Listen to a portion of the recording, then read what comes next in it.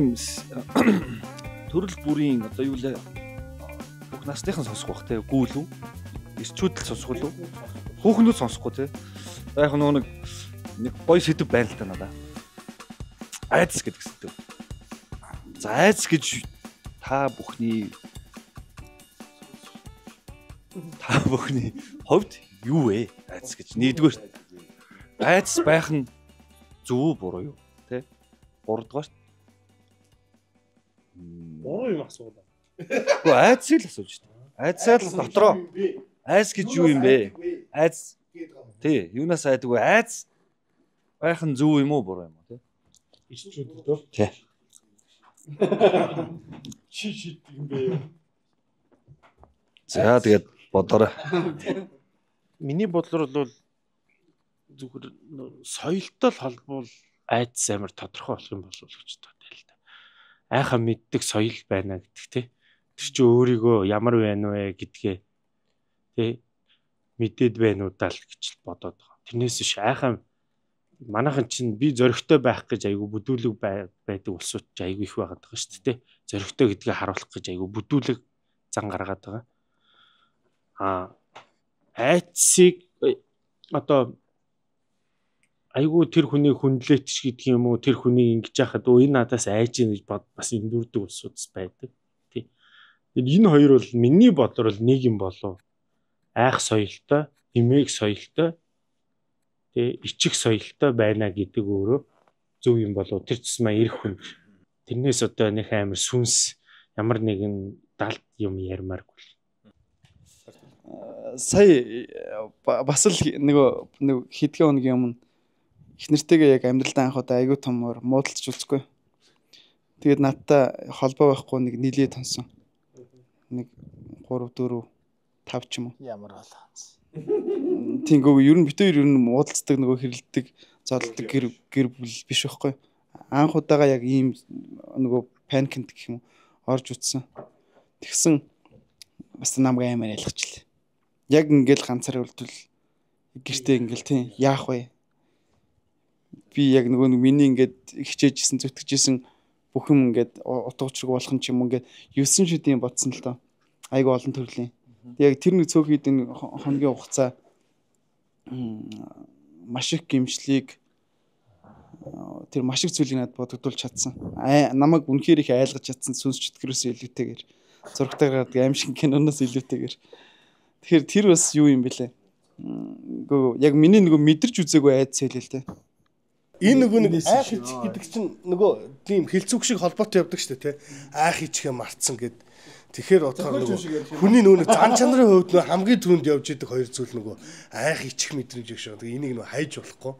Тэгээ айгуу гоё нөгөө нэг э, мэдрэмжтэй л хандгал зүйл юм шиг байгаад байгаа шүү дээ. Тэгээд айх ер нь бол цаагаараа нөгөө нэг ичих, эмээх, хүндлэх гэнэ бүх агуулгач нь дотор нь ороо явчихж байгаа болохоор тэр нөгөө чухал мэдрэмжүүдийн нэг Тэгээ ерөнхийдөө нөгөө нэг юу хүүхдийн энэ уран бүтээлч хүмүүсийн хувь тэр айдас тэр зүйлүүд дээрээс чинь гоё ингэ сэрж байгаа шүү дээ. Тэр дотор явж байгаа.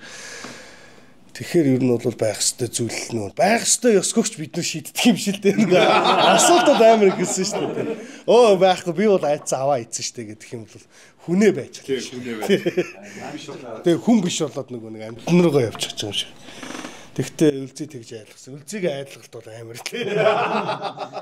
Нөгөө айл ичгээ умартна гэдэг чинь. Умартсан.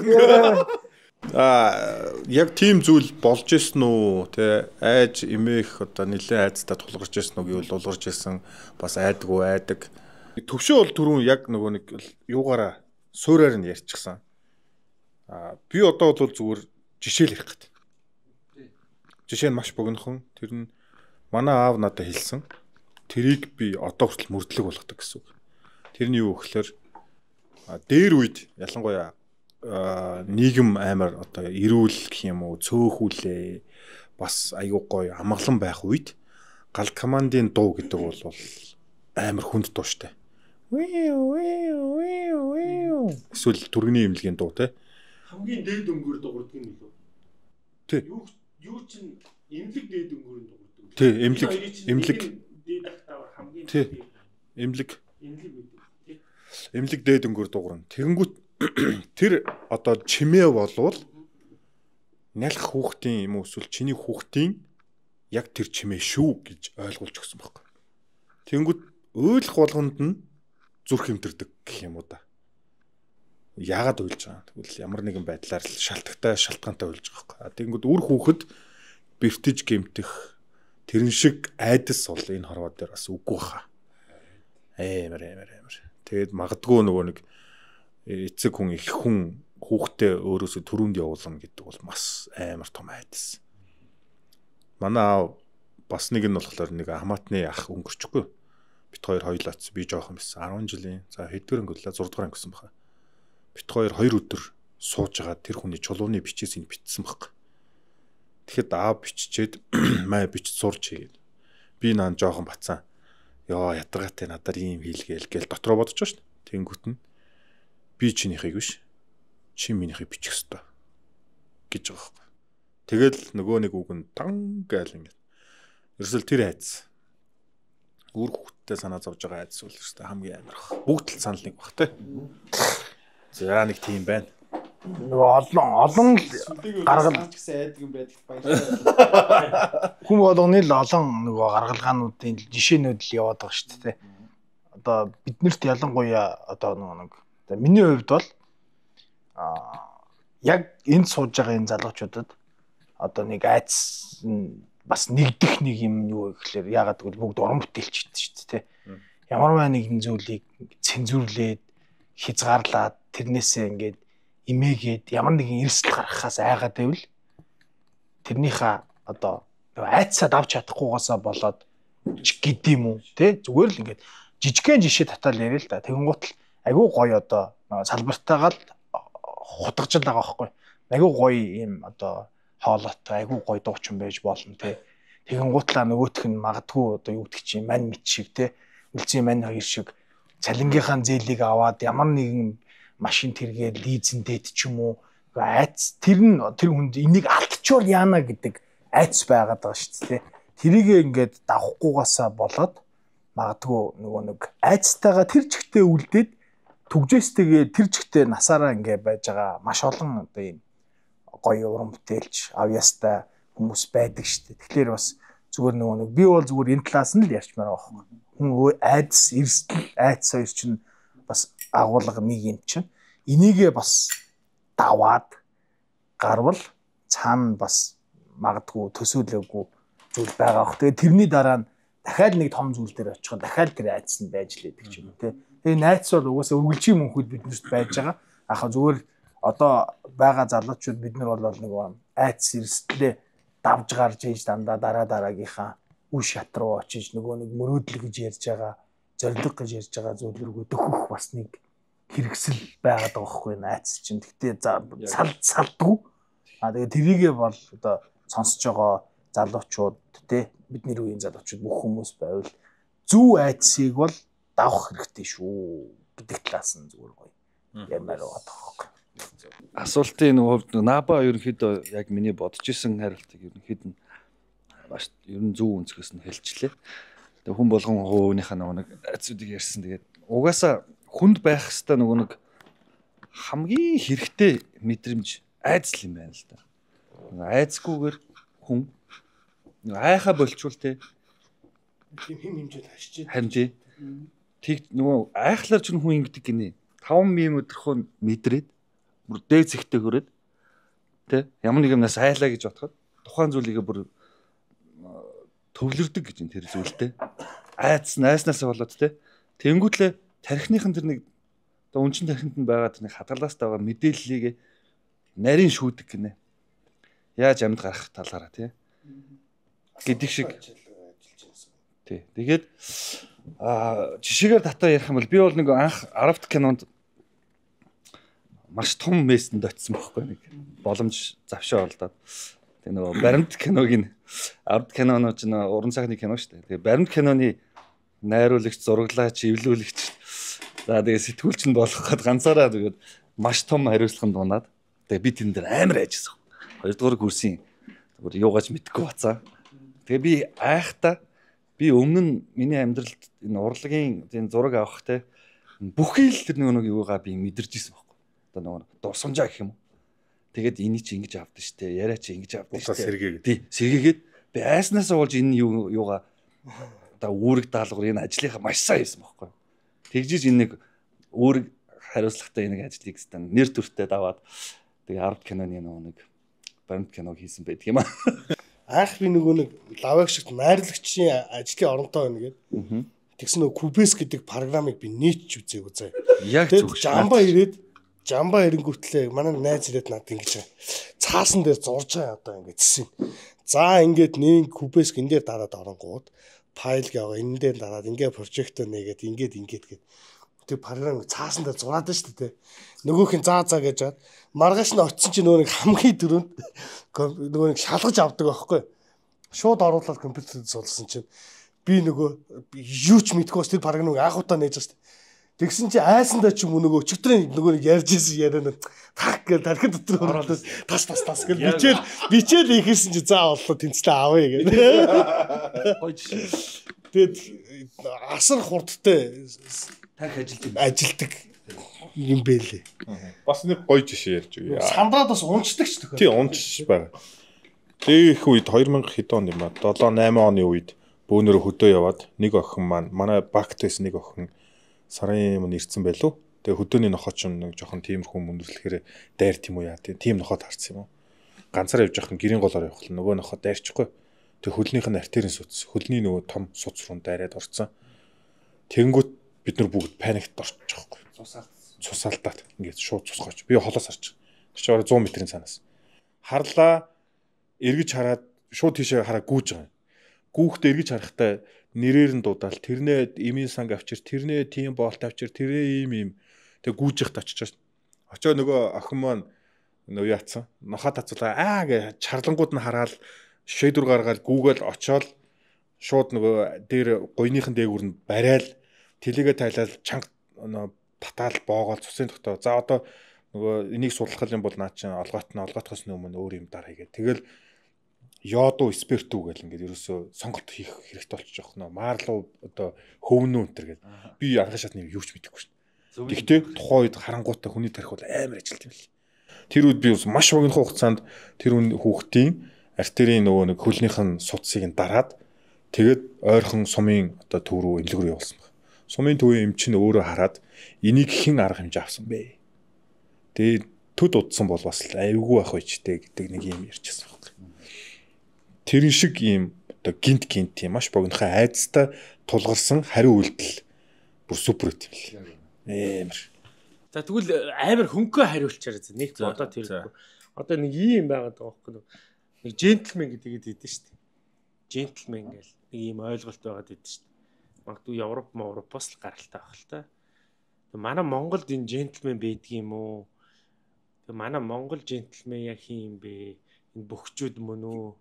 Яг Монгол джентльмен гэвэл та нар яг за тэр гээд нэрлэх хүн байгаа юу? Яг Миний бодлоо тий. Одоо яг энэ цаг үеийн джентльмен бол тэр Одоо манай ерөнхийлөгч маань байна. идэх ч юм уу тий. Морь унаад боо өрөө дээгүүрийн үцгээ. Тэгээ яг джентльмен гэдэг тодорхойлтыг хэлж өгнө үү? би энийг аягүй нөгөө яг энийг асууж байгаа энийг аягүй хайдаг байхгүй тий.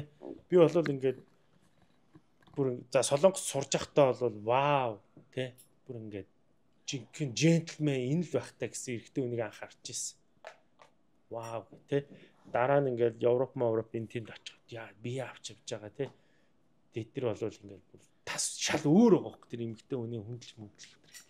Манай Монгол за яг Монгол ойлголтоор джентльмен гэж яг ямар ойлголтыг хэлэх вэ нэг хоёр тийм хүн байна уу? Яг байвал санаанд нь нь байвал нэрлэж Байхгүй бол бид өөрөөр нэг тийм гайд авъя гэж ил тий. За шууд зүүнээс эхлэх юм уу эсвэл борооноос эхлэх юм уу яах юм?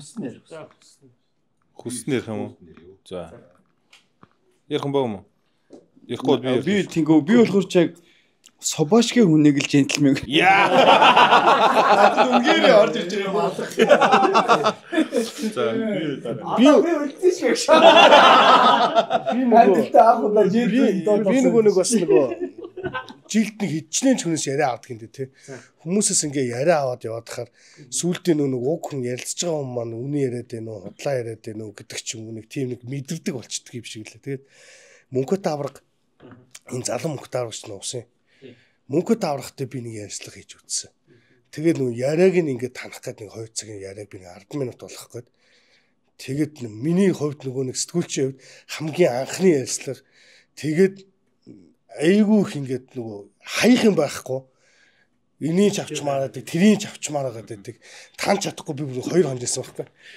Тэгээ ерөнхийдөө надад нөгөө нэг юм бөхчүүдийг манахнаар бол одоо нөгөө джентльмен чинь яг л нөгөө ёс зүйн хувьд ч тэр бие авч явж байгааг юм байдалчтай нөгөө нэг бас нэг олонний нэг тийм үлгэр жишээ болгоод хуучин нөгөө бөхчүүдийг айгүй их юм жудагтай жудагтай гэдээ ирдэг шүү дээ тий.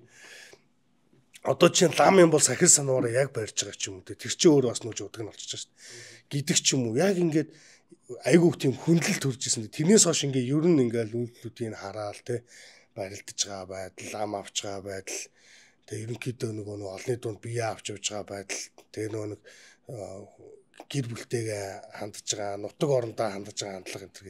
Ерөнхийдөө ингээ олон жил ингээ ажиллаад яваад байгаа нэг хэлсэн үгэндээ тэр үед надад өгчээсэн ярьцлаган доктор ярьж исэн бүх зүйлүүдтэй ерөнхийдөө бас нэг тийм хүрх гээд байгаа юм шиг санагддаг. Тэгэхээр нөгөө нэг бас нөгөө энэ нөгөө бөхчүүдэд аягүйх байсан гэдэг байгаа шүү дээ. Энийг юм жудагтай гэдэг чинь бөхчүүдээр эр хүнийг төлөвлөж хараад байдаг. Одоо нөгөө нэг сүүлийн үед ингээд нөгөө бүх гэхээр нөгөө нэг бүгдээр нэг биш гэдэг тийм хандлага за гэдэг хандлага байгаа шүү дээ тий. Ерөнхийдөө нөгөө нэг бөхчүүд нөгөө нэг хамгийн их нөгөө ард түмний хүндлийг хүлээж хагаад айгүйх тийм унгаж байгаа гэх юм уу хэсэг бөхчүүд байж болно. Гэхдээ авч явж байгаа бас нэг нэг хэсэг байгаад байгаа шиг надад санагддаг. Тэгээ би бол Монгол хүн дээр ярих юм бол тэр гэж боддог. Хандлага. Яг тий. Тий бүх гэхээр нэг бүдүү хадаа боловсралгүй байх хэрэгтэй юм нэг барилдаа л явж яадаг нэг хүн унгаачаал шагналын мөнгө, шагналын машин, шагналын байраар амьдраад байгаа юм шиг юм ойлголт. Тэнгүүт аврах хүн ямар байх ёстой вэ гэхээр маш өндөр төвсний ёс суртахуунтай, боловсралтай, бие зөв авч явдаг үлгэр жишээ те. Тэр хэмжээ болгондоо нэг байх ёстой хэмжээ болгонд нэг тийм хүрх гээд байгаа юм шиг санагддаг. Тэгээ мөнхөд аврагыг юм харахаар ер нь шууд нэг юм гой бахархал төрөддөг гэх юм. Айгу мундаг залуу гэж боддог.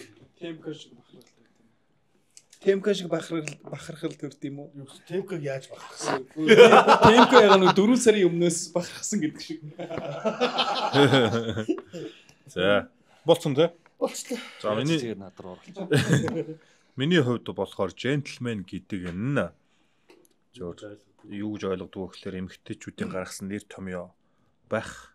За хоёрдугаарт өөрсдийгөө хүндлүүлэх тухай бас далд ухамсар байж магадгүй нөгөө талаас нөгөө эрэгтэй хүний соёлт нэг тийм одоо дэд цензур гэх юм уу гэж ойлготой ойлгоод байна. За тэгэнгүүт Монгол джентльмен гэх нь а ирчүүдтэй биш эмэгтэйчүүдтэй хэрхэн хандлах ямар одоо үлгэр дуурайл зөв дээрэс нь нэг тийм халамжтай хандж байна гэдгийсээ хамаарат иж магадгүй. Миний хурал тийм ба. За жишээлбэл машин барьж байгаа бол чиний жолооч нэг байх ёстой шүү дээ нөгөө талаас. А гэтэл жолооч нь биш хажууд нь сууж байгаа хүн номер 1 болвол тэр джентльмен. Одоо джентльмен хандлага гэх юм уу? Өөрөө нөгөө амар огцом тооноор онцлох биш. Тэр хажууд сууж байгаа хүн яг үндэ жолоо бариагүй шүү дээ. Тэгтээ тэр хүнийг өнгөлзүүлэхгүй одоо айлгахгүй ч юм уу Монголын жолоонд бол хэцүү шүү дээ тий. Тэгтээ тийм юм гарахгүйгээр явна гэдэг чинь өөрөө маш том джентльмен байгаа байхгүй. Тэгээ угсаал гардаг штэ нэ бага бахад л ээж л яриад идвэсэн зөндөөл юм ярьдаг. Тэр болгоно л ерөөсө ухаан руу л ордог л та. Тэгээд одоо яг Монголд джентльмен гэд хилчгэр хүн байна уу гэд тооцоолохоор энийхэр магадгүй тэр хинмин рокет би орох юм болов уу ч гэж бодох шиг. Гэхдээ ер нь цөөхөн л дөө.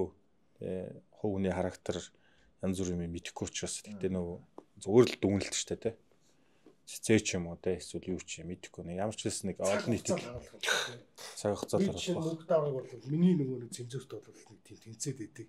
Хүн багтдаг байхгүй. Нэг айгүй гой хүн шүү гэж боддог. Тэр бүдүү хадаа хүн тийм ангар гой тийм торгон мэд торгон мэдрэмжтэй чи өөрөө нөгөө нэг юм бяр тэнхээ тэгэд мэдрэмж чинь нийл заяа гэдэг чинь бас нөгөө тийм ховорд нөгөө байгалийн өгөгдөл шүү дээ. Тэр учраас зэрэг тэгж боддог. байж Хүмүүс тэгсэн яг энэ сэдвээр амар эмзэглэж явдаг хүн шүү дээ. Тий, өөрөө ир хүн гэдэг нөгөө төслийг чинь бас хийдэг шүү дээ. Тэр джентльмен ир хүн байх хэцүү Монголын нийгэмд хэцүү. А тэгээд бусд нь дүгнэгчих байлгүй дээ тий. Болцоо наач нэг л хэцэл ахалтаад тийм нэг нэг тийм юу бол Ёс жудаг гэж байх ёстой. байж магадгүй бас. Эсвэл Цаанаасаа юу? тий. Одоо нөгөө дээр үеийн дуу байдаг шүү дээ. Яагав? Нөгөө ямар юу лээ? Хүүхэмсэг гэж юу гэдлээ? Тийм нарийн мэдрэмж шиг. Гойлонгоо биш ээ. Гойлонгоо. Гэт нэг э, дээр үеийн дүгнэлт байгаад байна шүү. Эсвэл шилийн сайр гэдэг чинь. За шилийн сайрж арай тэнцэхгүй. Оо ир. Гойлонгоо юу лээ? Тийм. Наадас ч гэсэн жинхнээсээ хийвэл явдаг шүү дээ. Жишээ нь тороо А, тий, өндөнгөө. гэдэг нэг хэлсэн байдаг шүү дээ. Нөгөө хэсэг нь бол айгүй одоо нөгөө баяд ноёдуудын малаас тасалж хөөж авцраад ядуу ардуудтай тараадаг байсан гээд тэр тэр утгаараа нөгөө айгүй сайхан сэтгэлтэй хүн байсан ч гин гинүү тий. Дуу зохиолтлоо нөгөө нэг ард түмэн чи хуйлалсан байгаа шүү дээ тий. Эхлээд эхлээд яг би болохоор ингэж бодож байна. Эхлээд джентльмен гэхээр Монгол руу орчуулахад яг ямар оновчтой бүр орчуулах юм бол та нар эхлээд тэрийг мэдэх үү? Мэдж байгаа юм байна уу? Джентльмен гэхлээр Юндэнгөөгөө. мэдгүй тэрэн шиг тий? Аа. Одоо юу юм одоо магадгүй төгс эрэгтэй гэх юм уу мэдэхгүй шүү дээ тий мэдэхгүй л мэдрэмжтэй хүн гэдэг. гэх юм уу одоо тэгэхээр яг зөв миний бодлоор джентльмен гэхлээр а нийтлэг хүмүүсийн ойлголт бол нэг юм жоохон тий ёслолын хувцастаач гэдэм үү гэл цэвэр цэмцгэр тий гээд бизнес их хийдэг а нэг гой хар машин унсан.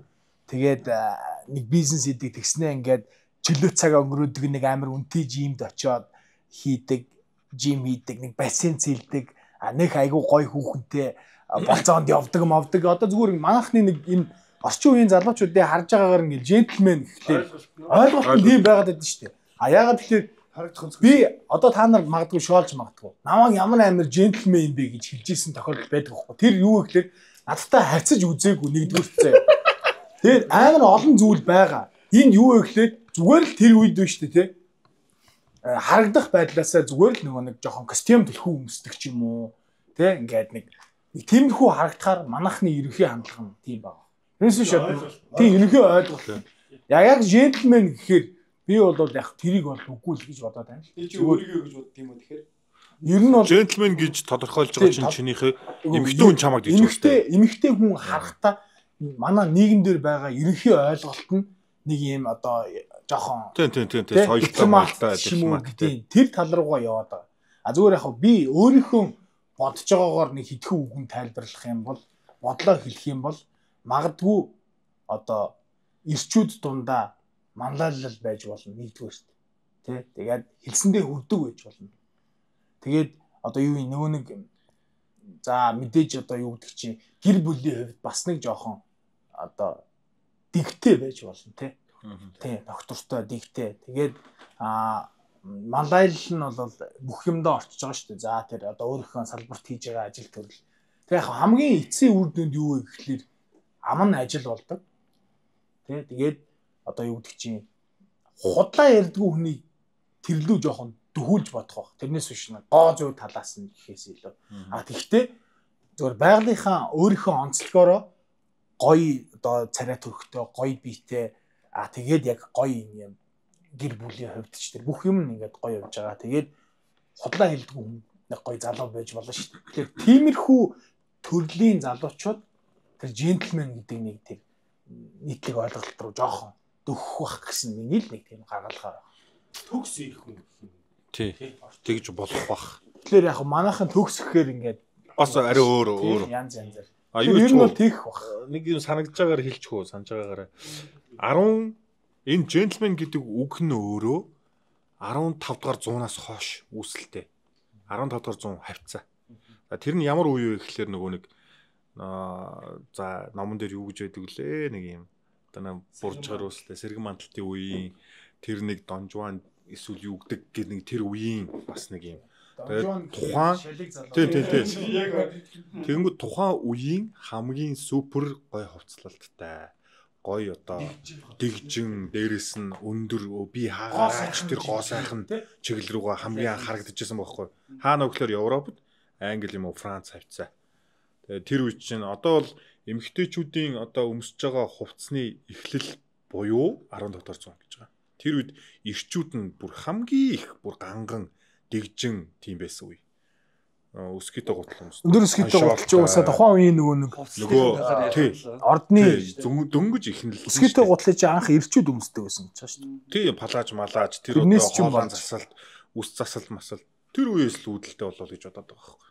За тэгэл тэрнээс хойш хэмсэг байдал тий. Тэгээ янз бүрийн юм дээр юм дэгжин байх.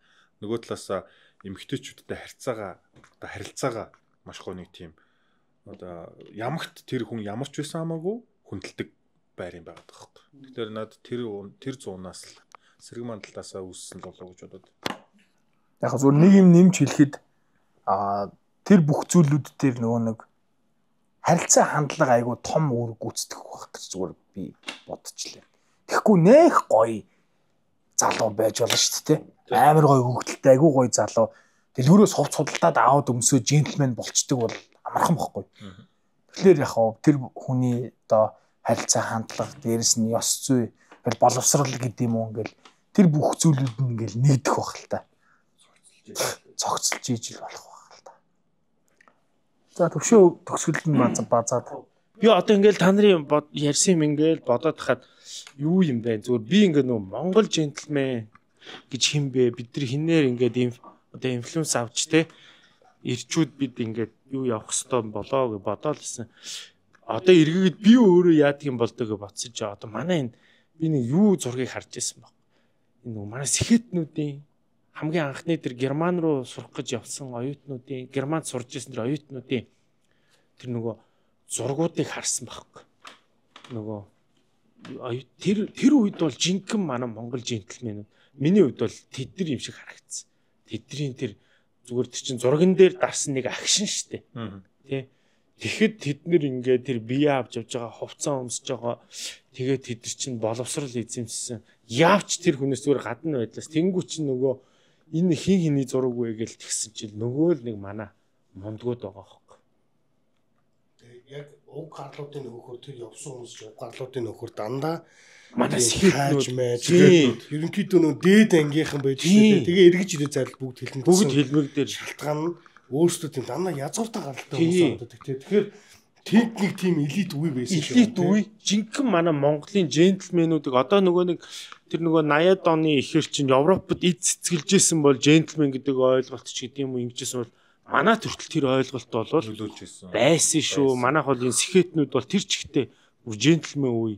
Одоо ингээл манай ах мах нар эдэр ингээл ярьдэн штэ ингээд тэр бүр ингээл одоо ингээл нөө жүжигчид эдэр одоо жишээ нь жамсран жавгааг гэл те драмын театраар ингээл гараа явахад хүн болго эргэж харддаг гэж. Тэр бол ингээд тухайн үедээ бол жинхэнэ джентльмен. Одоо гант төмөргවා гэдэр ингээл те лаг гэдэр ингээд жүжигчдийг ингээл ярьдаг байхгүй. Тэдний тэр бие авч явж байгаа тэд чи ингээд жинхэнэ үлгэр дуурайл болж ирсэн. Би бол тэдрийг л гэж хэлмээр юм шиг санагдчих. Заалдаг байна уу? Одоо ингээ яг ингээд яг одоо энэ цаг үе дээр ингээ нэрлэе гэхээр айгуу жоохон төвөгтэй яг тэр бидний чинь ингээ ойлголт ингээ сармагччихад байгаа байхгүй тий. Нэг бол бөхөө хэлэх юм уу? Нэг бол одоо мундаг бизнесмэнээ хэлэх юм уу? Тэгээд энэ сошиал гарснаас хойш бид нар ингээ нөө ариун цэвэр нэртэй хүн байха болчиход шүү дээ.